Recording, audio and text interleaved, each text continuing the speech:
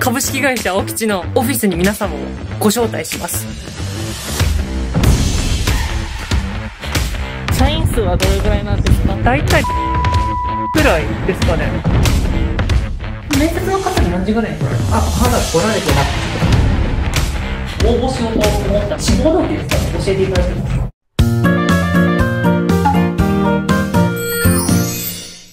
こんばんは、元男の子の青木かのんです。角度、角度、この角度なんすか？今日すごい鼻の穴大公開してますけど。うるさい、もう、やりづらい、もう勘弁して。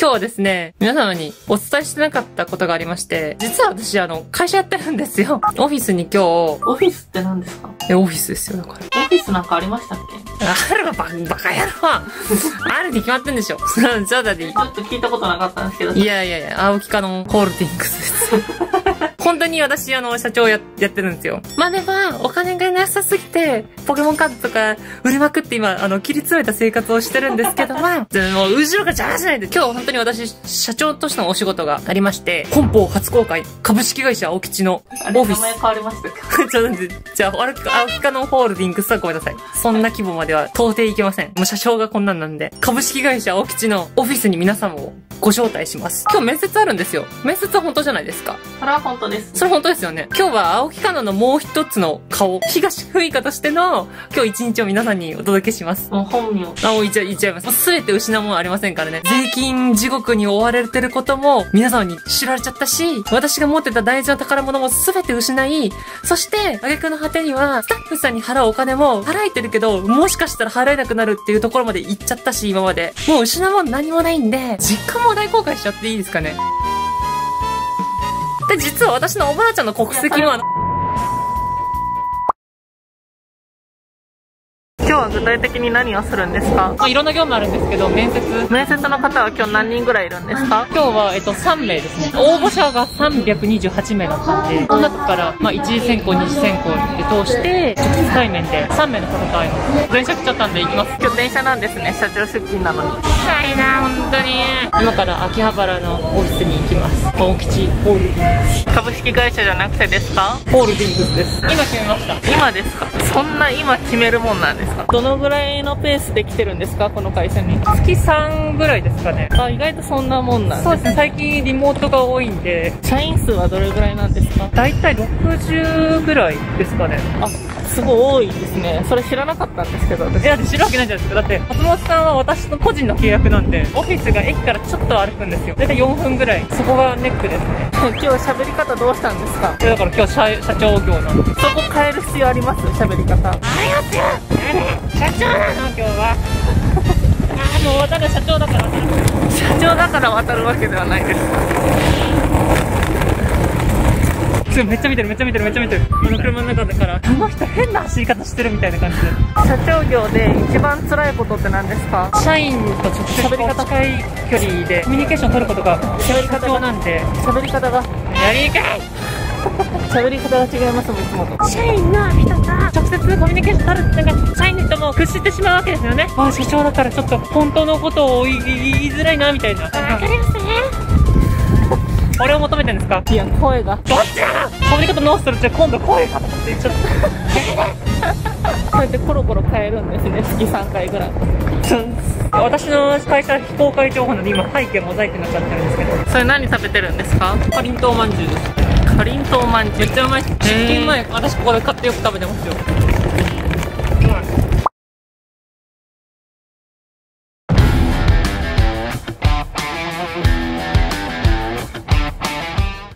本当なんですか？本当にあるんですね。いや本当って言ってるじゃないですか。ななんですか？これ。こんな長い茶番やらないですよ。お疲れ様です。なんか飲まれますそうですね。何ありますか？お茶からコーヒーか、ジャスミンティーとかであジャスミンでジャスミンティーで、はい。えこの前のその資料ってどうな？あ、もう出来上がってます。あ本当ですか。ありがとうございます。え、本当なんですね。いや本当です。え私会社やってますよねいつもお世話になっております。松本さんがカナダ本当に会社やってないんじゃないの？みたいな感じでずっと疑ってるんですけどだって松本さんと私は個人契約なんで。それ全然知らなかったんで、私。言わないですよ。そんな。面接の方に何時ぐらいに来られます？あ、まだ来られてなくて、ちょっと連絡もないです。あわかりました。そしたらじゃあちょっと待ってます。マジですかえこれ社長の椅子的なやつですか？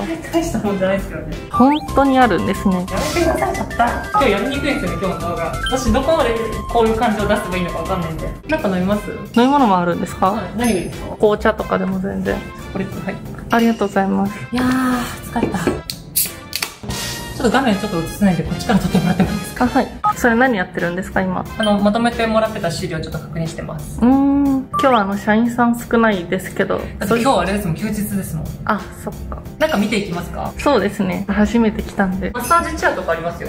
私全然マッサージあんまりやんないんですけど、商談で来てくくださった先方の会社さんには喜んでいただいてます。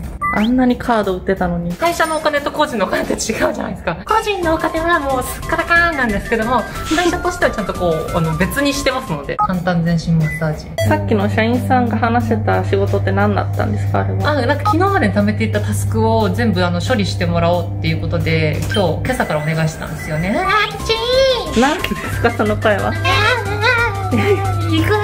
いやちょっとうるさいんですけどいい、きつい。これ社員さんの前でも言うんですかあ、全然言いますよ。これセクハラとかにはならないなんだなんですねあれ、ちょっと待って、操作仕方わかんないな。これ本当に自分のですかこのマッサージチェアもう歌うのやめてください。もうここまでやってんだからもう。えこれレンタルスペースとかじゃないですもんねだってないでしょうが。やれちょっと降りれなくなった。やばい。AV に椅子みたいになってしまった。ちょっとそうだよ、金玉マッサージもありますんで、これ。絶対ないと思いここにます楽しんごさんがいるんで。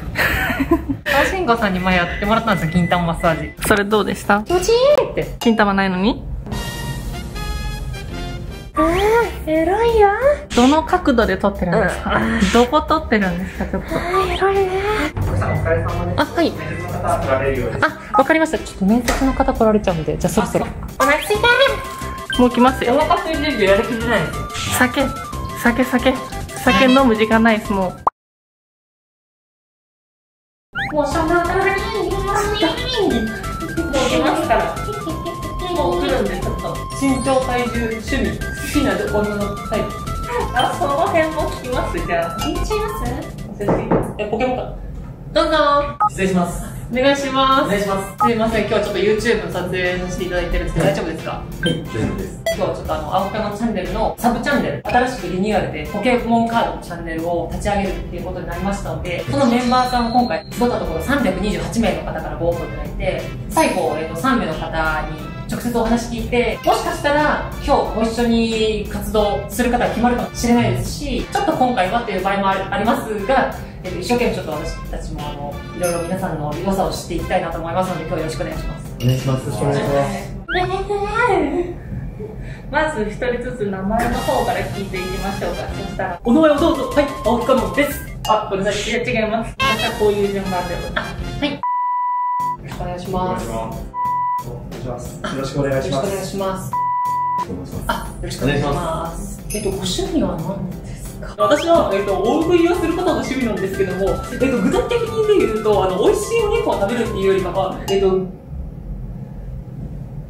ちょっと待って、違います。はい、はい。そしたらポケカルキの方を聞いていきたいと思いますはい、ポケカ歴は3ヶ月ぐらいです。今年から始めました。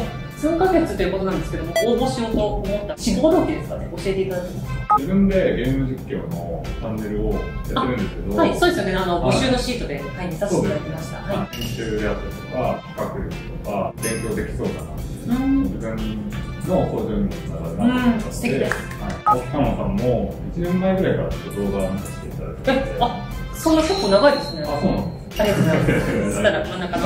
私も短くて実は2ヶ月なんですよ。皆さんはフレッシュですね。はい。実は私も車の方でチャンネルやってまして、はい。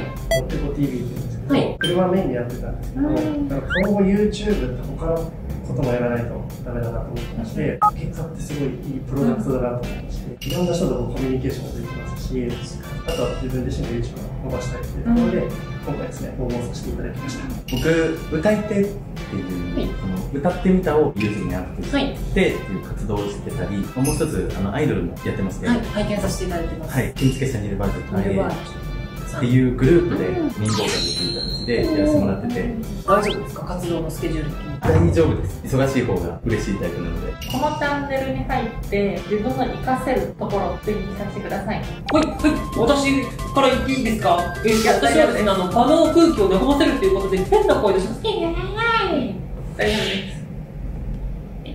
はい。編集能力を高めていきたいはい。と思いながらやってたので、うちの速度とか結構あるのかな。おー、それはありがたいですね。時間は守れる、守れる方ですか？時間は必ず守るのと、本当ですか？私絶対守らない人なので、カノンさんの動画で、カノンさんは遅刻する人間だということも、えっと知ってますはい。私も2年半ぐらい実は YouTube やってきまして、ファイナルカットプロ、おー、同じソフトです。私のチャンネルもファイナルカットプロでやってて。はい、編集のところの貢献はできるんじゃないかなとあ、そうですか。思ってます。もともと車やってるので、なんか車の中で結構カー改善とか、車酔っちゃうけど大丈夫ですか？酔ったらもう私はとんでもないことになりますよ。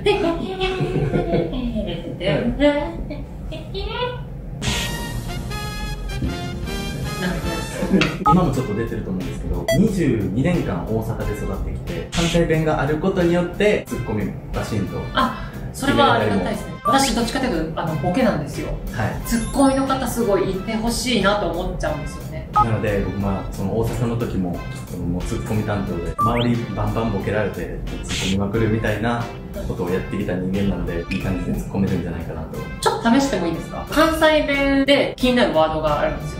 はいイントネーションですね。はい。まず、標準語で、はい。金玉。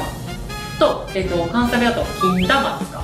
関西弁やと、金玉です。あ、マジで。あの私、突っ込んでくれるのかなと思ったんですけど、そのワードで試すんかいみたいな突っ込んでくれるのかなと思ったんですけど。失格や。そうですよね。高いわ。ごめんなさい。やらかした。関係値ができてからじゃないと突っ込みって難しいですもんね。イントネーションってやっぱ難しいですよね。そ急に来るんかいこんな突っ込み担当でした？あもう一個確認の項目がありまして。ちょっといいですか？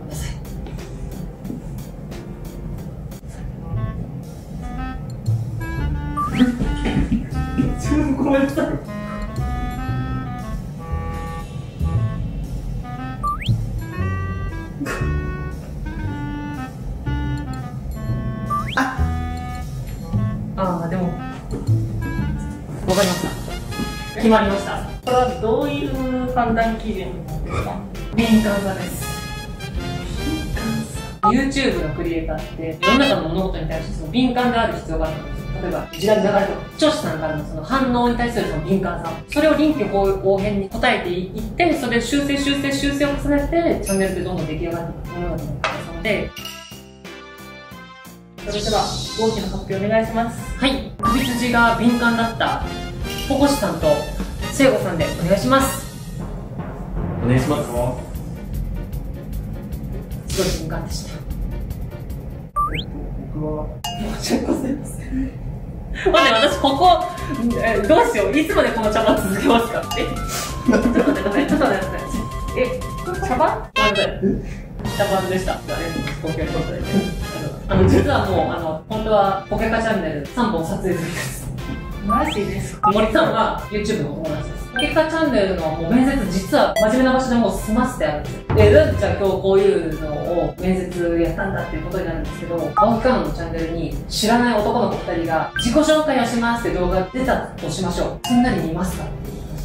そうですね誰だよこの男の子たちってななりません？困惑してしまう視聴者さんも多いと思うんで、茶番でやることによって視聴者さんも自然とお二人の自己紹介がスッと入ってくるような、こういう流れに持っていけたら一番スムーズなのかなと思って。なので今後多分ご一緒にする。